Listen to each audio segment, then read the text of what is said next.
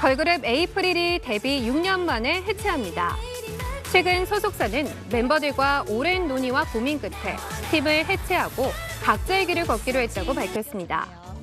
멤버 이나은 씨는 팬카페에서 해체 소식을 전하게 돼 마음이 무겁다며 팬들과 함께했던 시간이 소중했고 많은 것을 느끼게 됐다고 말했습니다. 2015년 8월 드리밍으로 데뷔한 에이프릴은 청순하고 사랑스러운 콘셉트로 팬들에게 사랑받았습니다. 하지만 지난해 전 멤버 이현주 씨가 활동 당시 멤버들에게 폭행과 폭언 등을 당했다고 SNS에 폭로하며 논란이 일기도 했는데요. 이에 다른 멤버들이 사실이 아니라는 입장을 밝혔고 전현 멤버들이 SNS에서 공개 설전을 벌이기도 했습니다.